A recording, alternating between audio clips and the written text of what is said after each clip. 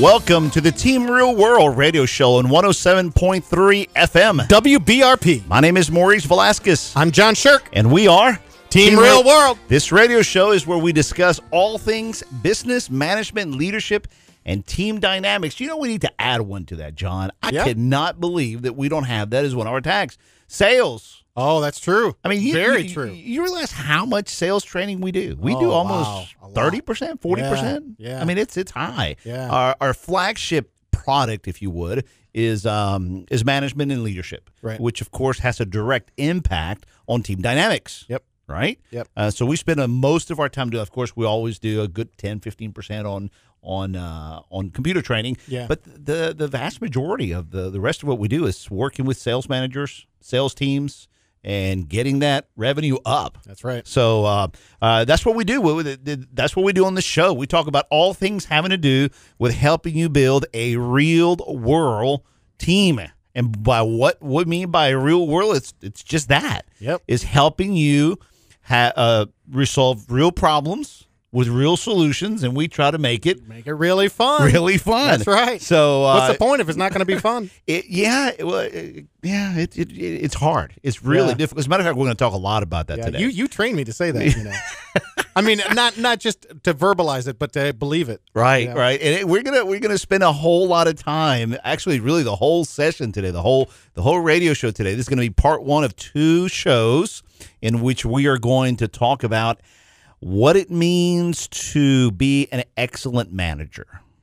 Okay, and what does it mean for you to impact your culture, your your workplace culture, to make it a thriving workplace culture, so that productivity is enhanced and people just are looking forward to working there. Yeah, nothing's worse than going to work and sitting on either side of someone who clearly they just it looks like they had too much buttermilk and onions last Yeah, night. yeah. So, Yeah, uh, yeah. a couple things you can find us on our website at www.teamrealworld.com, and our number is phone number is 225 772 4357. You can also find us on Facebook. Uh, just simply go to Facebook and type in Team Real World. Send us any uh, post or shoot us an email. Uh, as a matter of fact, let us give you our emails. Our emails, uh, best place to reach us at is info at Team Real World. All right. Uh, all right. So, well, let's get started. Okay. Um, you know, we we usually always start with first, what's the problem? What's the challenge? Yeah. Okay. Uh, so whenever somebody asks me, "Hey, Maurice, wh- wh- wh- what do you do for a living? Okay. And I, I usually answer this way. Okay. Um, you know that thing at work that makes you very frustrated about. Uh, you know, you can't really touch it. It's really difficult to to pinpoint, but there's lack of communication or things just take long. They take forever. Yeah, You know? it isn't really the work itself, sort of. It isn't the. It isn't the. You know, if you're an engineer, it isn't running the numbers. No. it's not that part of It's it. it's the part that makes you have to work with people. Right. you know, or getting your boss's attention, or your boss delays things, or your boss moves too fast, or uh, things just constantly change. Yeah. And when they're not changing, uh, people have no idea what, what happened to that. I, I heard a, a, a real story here recently that someone came to me and they said that they were at work and HR called them and said, You have to come to this training on how to do performance reviews. And they said, Why? Why? And they said, Well, you've been promoted. and she said, What are you talking about? I didn't ask for promotion. I oh. don't know even know what's going on. and they said, they surprise. said, Oh yeah, it happened two weeks ago. Oh. Oh, you know the the old the old military uh, mantra of tell them what you tell them where you are, tell them where you were, tell them where you're going. Right. That seems to be the opposite of most management's approach. Yeah. Let's keep them in the dark. Let's surprise them, and let's wonder why they're not engaged when we tell them at the last minute the brand new news. That's right. either you're fired or you're gone, or, or- or you're you know, or, or you've been Yeah, promoted. That's right. Uh, so the whole issue of management, how in the world does do, do managers create a, a a different culture? Mhm. Okay, that's what that's what this is all about. That's what we're about. Yeah. How do you create a, a better culture where team members are fully engaged? Right. People, you know what this looks like when you've seen it. It's people have a smile on their face. They're whistling while they work. There's a there's a sense of real connection to what their competency is, and that they're delivering it on the job, and they feel not just happiness about people, but they feel a satisfaction in delivering what they can do, and they have a sense of identity in it. Right. Right. All of that. Yeah, all of that. Um, and it starts from the first day. You Yeah. know, from uh, from all the way from the beginning to the end. Yeah. Uh, and let's throw out some some some several things that our listeners can be can appreciate a little bit of what what our program, what our management program addresses. Uh, reviews only happen once a year. Right. You know, if that much. I, I have another good story here with this one. Go ahead. Go Somebody told me this is a very a, a very highly skilled person. This is not like your typical kind of entry level person. A highly skilled person told me that he and, and fairly up there in, in pay scale said he waited three years ah. for a review and after his review was given a 48 cent pay raise. Oh, I don't know what's worse. I mean, if you're going to give me a tip, uh, you know, Yeah. if, you, if you're going to leave a bat, if you're going to leave a tip over ten cents, you might as well not give me a tip. I know. you I thought it's so specific. It wasn't 50 cents. It was 48 cents. it was probably at the Yeah. bottom of some spreadsheet. That's you know? probably, yeah. uh, some na- national na- na- national comparison of, of, Right. of ONET title or something. You're right. so uh, so man, right, so managers, uh, do they have an impact on this? Of course they do. Absolutely. You know, uh, but but we regularly see just uh, lots of signs and symptoms of managers just not able to build that camaraderie, to build that team, and it is very much about being able to build a team, bringing on the new people, uh, knowing how to inherit old people Yeah. okay being able to put the right people on the right uh, you know uh, on the bus uh, but it also boils down to some very practical things like we talked about reviews Yeah. Uh, managers should not wait one year to, to, to, to review their people. It should be more often. But what about the tools? The tools people need. Oh, you know, yeah. how many times do, do do people just don't have enough tools? First of all, they get there, and a week later, they're still their computer's still not up and running. That's First of all, the computer may not be on their desk. Uh, Yeah. you They, know? They've heard they have an email address, but no one knows what the password is. Right. Or you can tell there's favoritism. Yeah. There, there's favoritism going on, you know, and, and you know that Uh, one person's expected high quality, the other person isn't. It doesn't take long for the for the new blood, okay, mm-hmm. for people who come in to your company to pretty much identify and let you know, or or they they, they probably don't even let you know. They just kind of just pick up on the fact Yeah. that okay, there's some serious favoritism. Right there, on. right there is where that disengagement Oh, yeah, Right there where that top layer Absolutely. of productivity just sort of vanishes. Yeah, and so you know how much how much is this, John? How much how much would you say this is costing companies? Okay, Oh, how much is this co- costing? co- billions of dollars. Huh? Billions? Bi- uh, Billions? No question. No Billions? question. I have, we No have a, we have a little video, a, a little a little sound recorder, okay, a little uh, sound clip of of a study that was done not too long ago explaining the tremendous impact that bad managers have on companies and the economy as a whole. Do we have that clip ready? All right, let's take a listen to it. The most stressful part of their job. 44% say they've been verbally, emotionally, or physically abused by a supervisor or boss at some point in their career. And 31% of workers say their boss just doesn't appreciate them. Sounds like a big group of whiners, doesn't it? Actually, employees with subpar management have the right to complain. And this dissatisfaction is costing businesses and the American economy big money. The economy. Bad working relationships between management and employees cost the economy $360 billion each year from lost productivity. Fake sick days, dawdling because of low motivation, and purposefully making mistakes out of spite are all direct results of a bad boss, and it costs the economy big bucks. Health is at stake. Anyone who's ever had a bad boss knows they can't just shake them off when they turn in their two weeks' notice. In fact, it takes people 22 months to restore their stress levels to a healthy range after a bout of terrible boss. Also, people who are stuck working for someone horrible are more susceptible to chronic stress, depression, and anxiety, which all increase the risk of a lowered immune system, colds, strokes, and even heart attacks. All those sick days and visits to the doctor, acupuncturist, massage therapist, and psychologist are costing companies a pretty penny in health costs and lost work days. Last but not least, a bad boss produces some very real costs in the form of recruitment costs, lost productivity during new hire training, and in cases that escalate, legal fees. One organization who did the math on real money lost in a year because of one boss's bad repertoire with employees added up to a whopping $160,000, well above the average managerial salary in many industries. Wow! There's some big numbers. Did you hear all that? Yeah. Managers are causing chronic stress. Mm-hmm. I mean, I'm telling you, this is bad. It is. It's just really bad. I mean, there's a whole there's a whole movie out there. It's a bad movie called Bad Bosses. Uh, yeah. But everybody knows, of course, that was the extreme Yeah, you know, of, yeah. Of, of foolishness.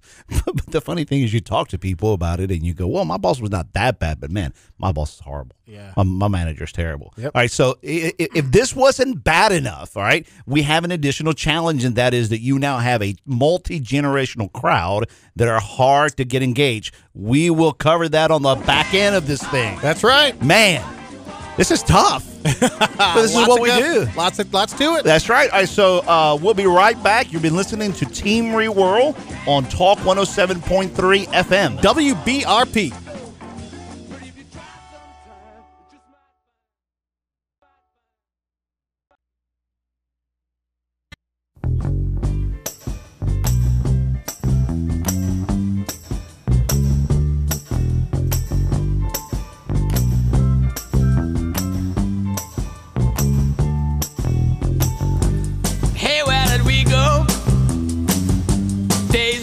Welcome back to the Team Real World Radio Show, where we discuss real problems with real solutions and we make it Really fun. really fun. All right, you're listening to Team Real World on 107.3 FM. WBRP. All right, and we're discussing how in the world do we become excellent managers? Yes. And the impact that that has in order to help our teams become more effective and in order to make our team workplace more thriving. Can I can I tell you a quick stat I heard just Absolutely. earlier? Actually, I heard this one earlier today from a client who's very proud of one of their managers. Yep.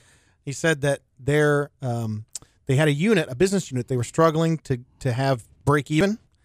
They introduced a new manager to that business unit, and he has taken them from barely breaking even to running at sixty six percent gross profit margin on that product. Wow. Pure, no change other than the manager. Other than the manager. Other than the manager. And so, what what what have you? What what are the contributions to it? What what made the difference? Well, essentially, they this person came in with a mindset of a manager, saying, "I- "I'm not here to ask permission to be the manager. Mm-hmm. They made me the manager for a reason, so I'm going to manage."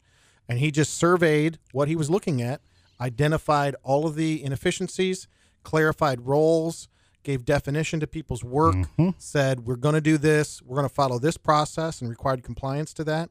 And by doing that, he just made a whole bunch of money for the company. So the the company hired someone that knew how to manage. Right. Okay, that is often where the problems are. Yeah. That you promote somebody from within mm-hmm. because they're good at what they do. Yeah. Okay. Absolutely. And they have all good intentions. The company has good intentions. The person who's being promoted has good intentions. But beca- being a good sales rep does not mean you're a good sales manager.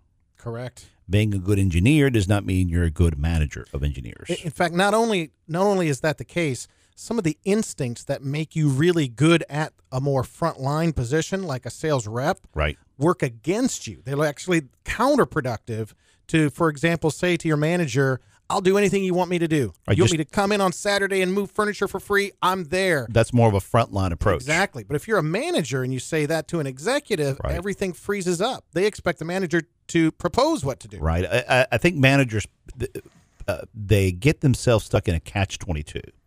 They they want to manage. Oftentimes, they may or may not know how to, but they look to their supervisors above them, their executives, Yeah. And say, "I can only really provide clarity once the executives provide me clarity." Exactly. Exactly. And I would lead my teams better if my people listen to me better. yeah. Okay. So they put themselves, they should be in the middle, but they put themselves in a position to where it's almost a position of victims, Yeah. uh, not realizing that the very reason why they were hired is, well, what is their title? It's to manage. Exactly. So managing something means that the company, the people above you, the executives, and your people, they're looking you to be the, for, to you to be the one who actually manages, the one who gets in the front and organizes this, sets up clarity as to how we're going to talk, how we're going to make decisions, how we're going to execute things, and how we're going to measure ourselves on a regular basis. Exactly. I can't tell you how many managers that we bump into in trainings who they're not experienced as managers and they have a certain mindset of futility Right. in their work because they say, well, the executives won't let me manage. But when you go to those companies, you talk to the executives, they say, as soon as they're actually going to be managers, I'll let them. Right. And so this this impasse happens.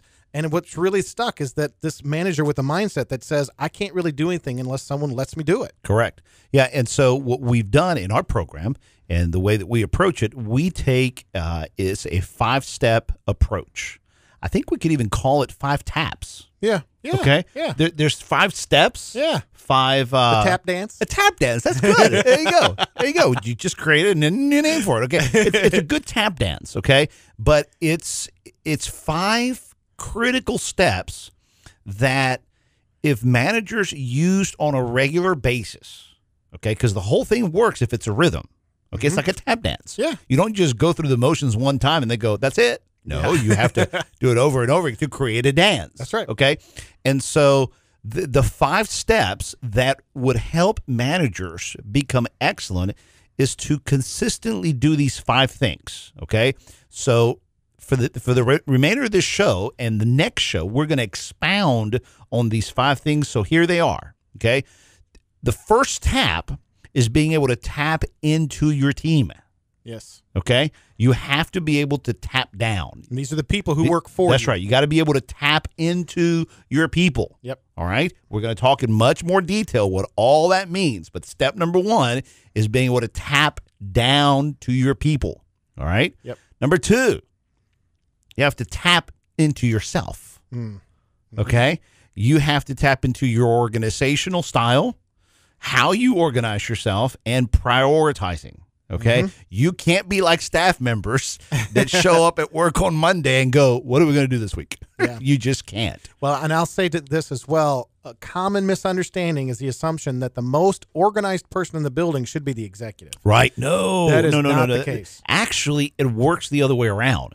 Sometimes the most disorganized person should be the executives. Yeah. Because they're the ones who are thinking at the eighth floor level, who should be blue skying, Yeah. and you they can't have the same mentality as being the organizers. Now they should expect to be organized, but they're not the ones doing the organizing. Correct. The managers in the middle. So let, let's just pause for a second. We've mentioned five, two of the five. Okay, we have to managers have to tap into their people. We often call it tap down. Mm-hmm. Tap down into the people. What is it that we're looking for? Okay, when we tap down, well, we're looking for problems, Right. ideas, Sure. solutions, Yep.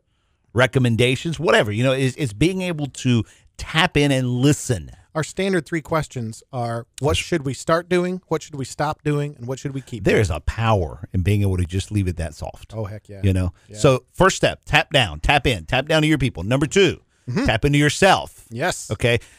If you have gathered, if you have tapped down and you've gotten some feedback from your people, that in and of itself is a challenge, which we'll discover in more detail. Mm-hmm. But once you've gotten a feel of the land, okay, mm-hmm. well, do you take regular regular time to prioritize prioritize yourself to determine what things I need to delegate down? What things do I need to go talk to my peers about?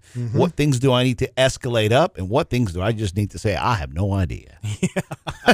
Yeah. you know, and so that second step is crucial. Yep. It's crucial. One uh, a a company that I that I went to work for as a as a field of operations, uh, the executive actually when they hired me, the executive team basically said, "Look, for the first three months, we need you to go and basically get it the feel for the the, the feel for the land." Okay, go and figure out what it, what you believe are the major things that we need to do, and propose. Okay, a game plan. Wow. I'm. I mean, my first week there, I had no idea. Uh huh.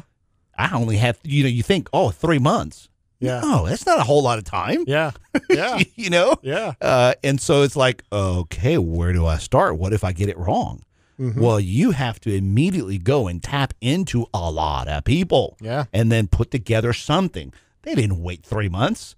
a week and a half later, they're going. So how's it going? Yeah, what do you got? What do you got coming? What's, go- got- what's the- going on? the you know? preview. But that's a good a, a good example of tapping down, Mm-hmm. tapping into yourself. Then what's the next step? Now here's where a lot of people, especially you out there listening, you're probably saying, "All right, the next step would be how to tap up, how to go up and propose to." Your executives, or you know, uh, bring go, go up to the top and align with the top. Nope, that's step number four. Step number three is tap across to the peers. If you're the director of marketing, okay, then you are probably, I'm just going to say probably, generally speaking, probably not doing yourself a lot of uh, benefit if you don't, on a regular basis, talk to the Department of Sales. Yes. Okay. And sales is probably not doing a good job if they're not in some way talking to engineering Oh, or engineering is not talking to customer service. Yep. Customer service is not talking to the other departments. You know, there's there's a group of managers right there in the middle that boy, if they just talk to each other. Yeah. Okay, so the key, the third step is tapping across to those managers. This is huge. Uh, This th- is huge. Of, of everything that we're talking about, y'all, this tapping across is the single most powerful element of building a thriving culture. Okay. Mm-hmm. It's when a team members in one department know that the other department is doing stuff they shouldn't be doing because it's impacting us. And all we have to do is go tell our manager, and our manager will find a way because they have a good relationship to go talk to that other manager and come up with a solution. Sure. Absolutely. That is powerful. Absolutely. Now, that'll motivate people to go, hey, we can have some impact around here. Yeah. All I have to do is speak up. Yes. That's powerful. It is. It's very powerful. That's powerful. So we're we're at step three on the way back uh, uh, on the back of the break. We will continue to step four, step five, and then we're going to extrapolate, extend what it means for each one of these steps to be properly applied. All righty, this is fun, man. Yeah. Um, come back to us after the break. You're listening to Team Real World on Talk 107.3 FM. WBRP.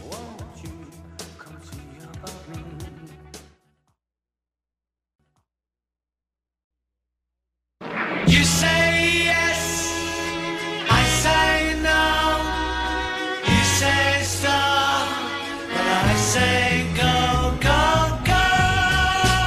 Welcome back to Team Real World. This is the Team Real World radio show on Talk 107.3 FM. WBRP. All right. I love that song. Yeah. Yeah, but there's a reason why we choose it other than just it's a it's a it's a good song. All right. It's because in management in companies, this is so often the case. Yes, it is. You go to meeting and you come out of the meeting and said, "Hey, we said yes," and somebody's thinking, "I don't think so." Not me. I Not didn't me. say I yes. didn't, I didn't speak up. you know, uh, or marketing department says we're going to do this, and sales says no, we're not. no, I don't think so. I don't think so. okay. I don't think that word means what you think it means. Well, we got to get a clip of that. We did this last show. We came up with this, and poor production guys going, ah, I got to get that clip. so, uh, Uh, yeah, but uh. oh, I, okay. If you guys could see us, John and I are just holding our heads, uh. going, "My goodness." we see this all the time. Thankfully, of course, this never happens at Team World because Yeah. we're inoculated to all these things. That's right. We have found that if we just simply preach it to everybody, it magically comes together course, for yourself. we are like the holy grail. That's right. teams. That's why we do not allow our team members at the office to listen to our radio show. because they would be sitting there Oh, saying, yeah. "Oh, doctors, That's heal right. thyself." They'd be out in front of the recording studio with the protest signs and a right. banner and a theme Yes, song. yes. yes. So uh, uh, we need to put a legal disclaimer in here somewhere. This cannot be used against That's our right. employees. we are not. Oh, this is y'all. This is hard Uh, stuff. It's it is hard hard. It is stuff. hard. Becoming a great manager, finding a great manager, supporting a great manager, having your manager then turn that around and support 15 people, 20 people, 30 people to then get along with another department. Yeah. You know, that Well, what what adds to it is that it is in the nature of mo- of the way businesses are structured in the Western world. There is a natural conflict that forms because Yes. sales wants to close a deal, and they're going to make certain commitments and promises to a prospect that operations has to deliver. And so operations is going to want to say, "Hey, you got to check with me before you commit to that." And there's like a natural, and then Exactly. accounting is in the other side of the office, going, "Hey, you guys going to include me in this conversation at some point?" and they know they're not. It's always going to, and everybody pretty much feels like, hey, don't you for, don't forget about me. right. Um, so I think it's safe to say that the problem comes down to not so much that people and departments are working as silos, okay? because we need more departments to work as silos. Yeah. Oftentimes, people aren't minding their own business. You know what I'm saying? you know. Sorry. to- Yeah, it's true. You know, It's true. Uh, I, I we need to get a little poster here. So remember, you're on the radio. Okay, so don't don't speak your mind. Stick to the script. Okay. Uh, this isn't live, is it? Yeah. Okay. It is when it's it's being That's right. played. When it's- yeah, right now it is. All right. So uh, it, the problem is not that your company or your team is working as silos, because in order for the car to work, okay, the each each piston needs to work on its own. So each department needs to have a vertical alignment within itself. Correct. It needs to work as a well functioning team. Yep. Okay. However, the problem is that each individual team is wanting to operate alone. Right. And almost as if their unit is the whole company. It is. So instead of having a well oiled machine that has six pistons that are connected by a shaft that keep this thing running, okay, mm-hmm. then then without that shaft that keeps that keeps a rhythm going, then each department's going to do their own thing and then it Right. becomes a push and shove. Exactly. At that point, everyone's going to appeal to the top, appeal to the bottom, appeal to the side without there being a rhythm of decision making. All right, that's where usually the pain of executives is exists, and that's where staff members can see that uh, this is just being run like a circus. Yeah. You know, uh, you know. Well, no, circuses are good chaos. Uh, Yeah. let- this is being run. Let's, let's, let's Yeah. change the analogy. This is being run like most companies. Yeah. So the number one, we would say the, the, the number one habit that managers need to develop. Here, listen to this, staff members, and those of you that are not managers or and, and owners. This is what your managers need to work on: is how to be able to cross those walls of silo Mm-hmm. and build good, trust-filled, trusting relationships with each other. Yes. If you have 10 middle managers, those 10 middle managers have to be able to cross those walls and have good relationships as individuals and as a team. Ask yourself do those middle managers ever come together in a meeting where they have a good, effective, functional, productive meeting without having to have an executive in the room to keep them under control? There you go. Good question. Good question. Wow. Yeah. Okay. Yep. I mean, think about it. How many how many departments have good meetings among their own departments? Yeah, pretty Right. good. Yeah. How Yeah. many times do the executives talk to the managers? Pretty good. Some. Yeah. Pretty good. Yeah. Okay. But how many times do managers talk to managers? Right. Well, if they're not tapping across to each other, they're not going to be able to tap well effectively up, which is the fourth step. Right. And the reason being is because one manager is going up to the executives and saying, "We need to do this," Right. And then when the executive says, "Yeah, let's go ahead and try that," yeah, but then nobody checked with the other department, Right. and then the other department says, "No, we we can't do this." That whole yes or no Beatles song. Yep. Then the executives are like, "Oh, As soon as you guys get your act together, you let me know. exactly." So wait a minute, you gave me a proposal, and you've never gone and talked to engineering about this. Why haven't you talked to engineer? Well, and you then- know how they are. as you know how they, okay, so what you're really asking the executives is you're proposing this to me so that I go sell it. right. So I have to go and be the one that sells it. Wait a minute. Wait, time out. This is where managers cease to become leaders. Right. So the third step, let's review them again. Step Okay. number one is tapping down to your people, the needs, the ones, the desires, the problems, the issues, and the ideas, right? Right. Then you have to tap into yourself, your style, your organizational development, your how good are you at time management, prioritizing, and coming up with a regular ongoing plan, Yes. right? Step, tap number three, tap across.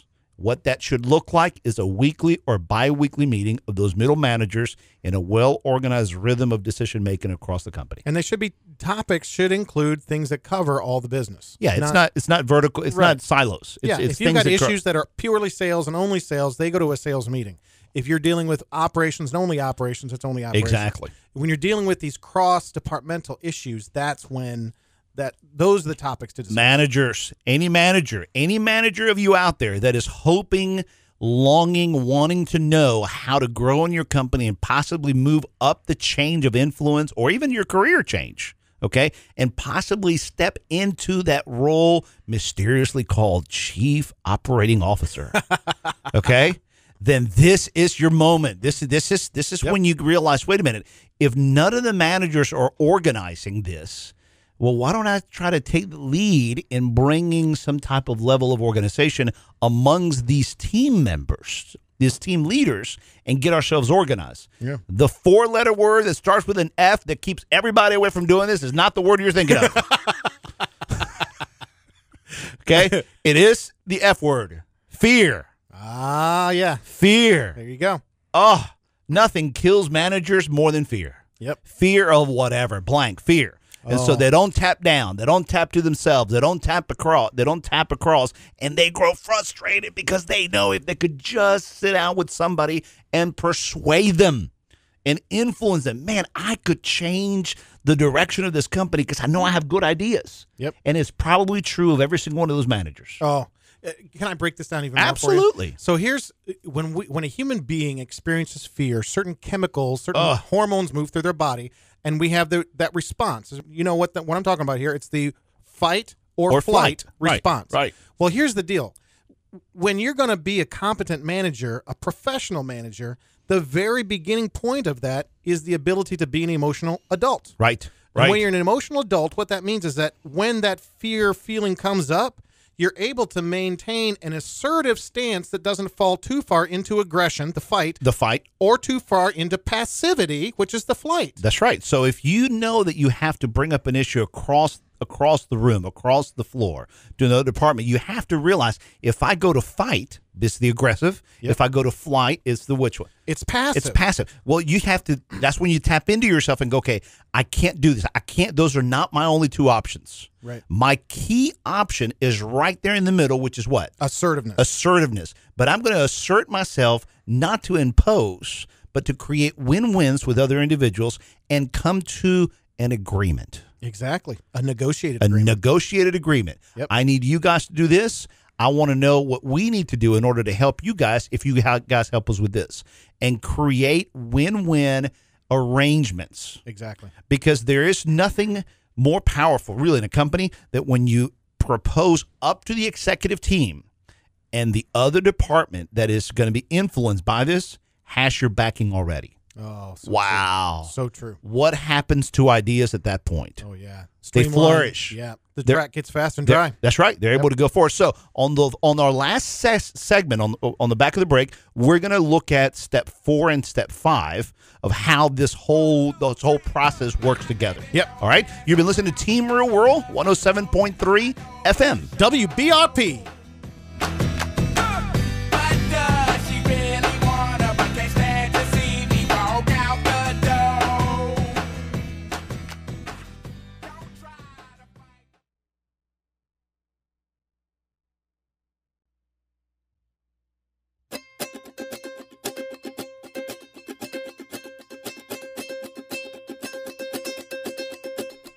She asked me, son, when I grow old, will you buy me a house of gold? And when your father turns to stone, will you take care of me?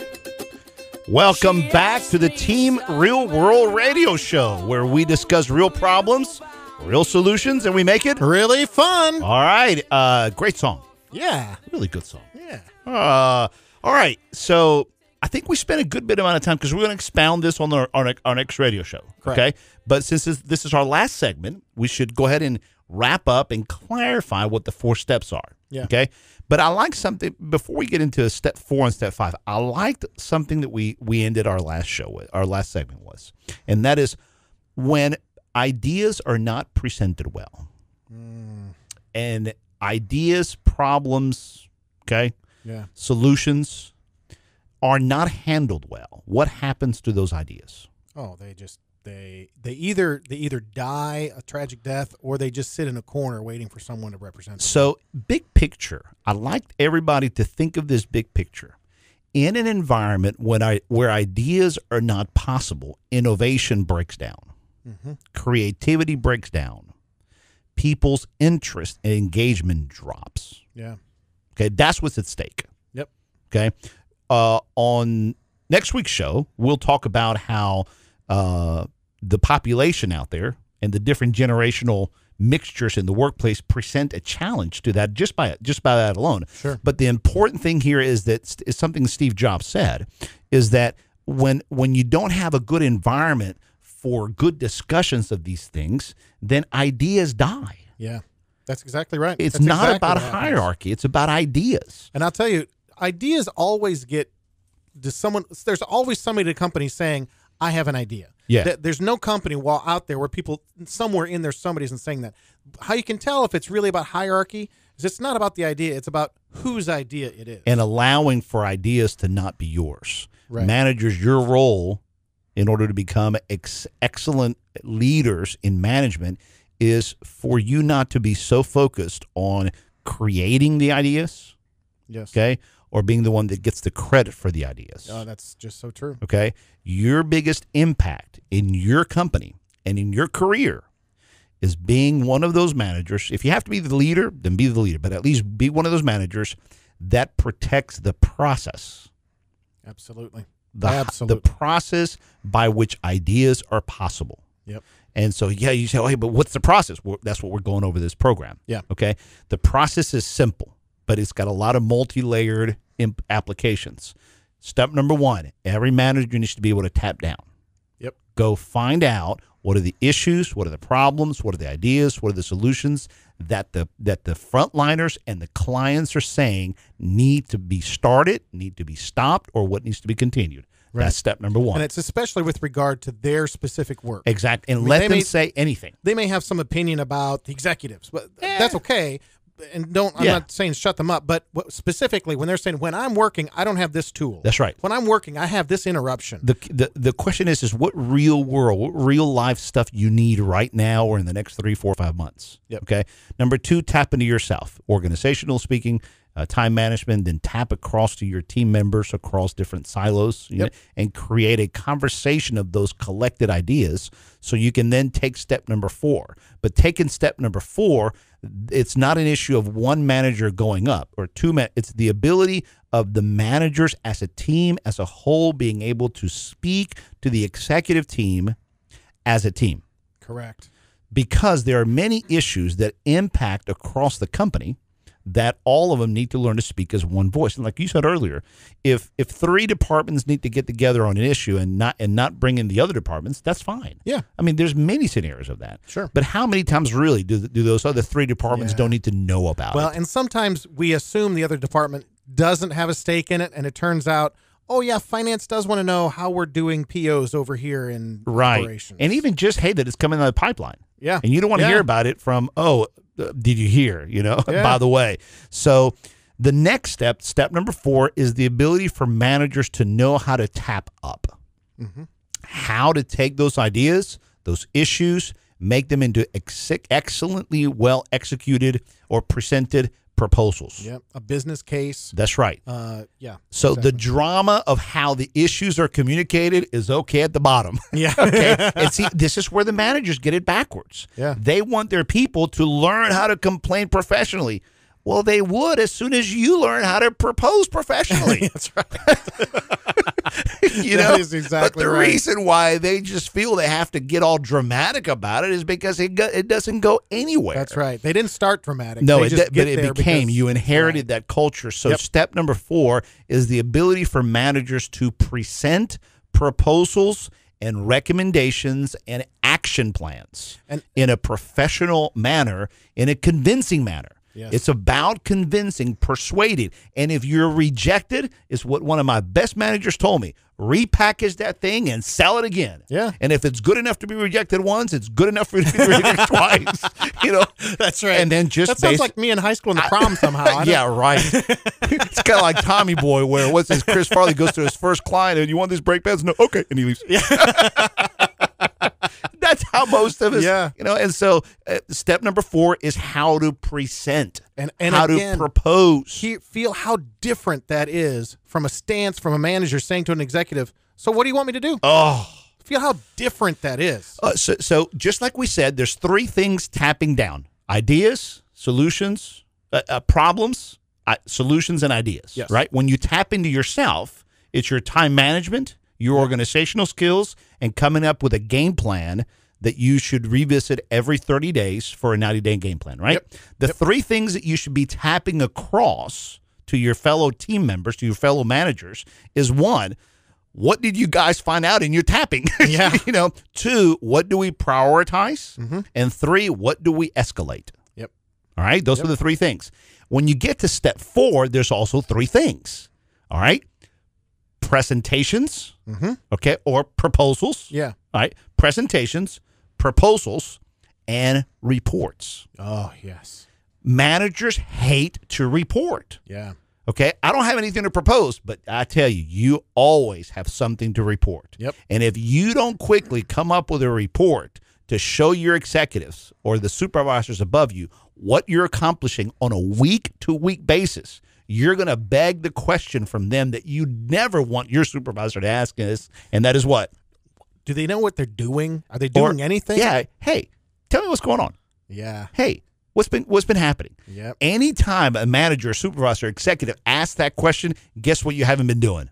Letting them know what's going on. You haven't been reporting. All right. So we'll cover this more in the next show. Step number five.